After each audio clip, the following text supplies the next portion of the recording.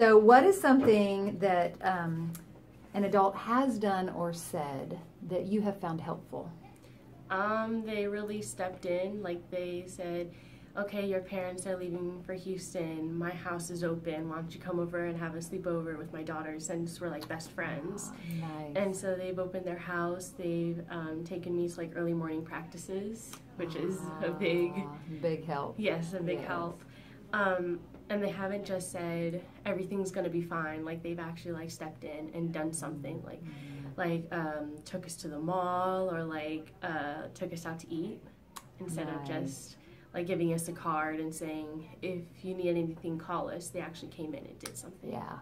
that they found helpful was um, when they like encourage you to do something. Like when you say like you can't do it, and they encourage me to do it. and, like it gives me more like strength to want to do it. Yeah, that's perfect. Yeah, gets you kind of motivated.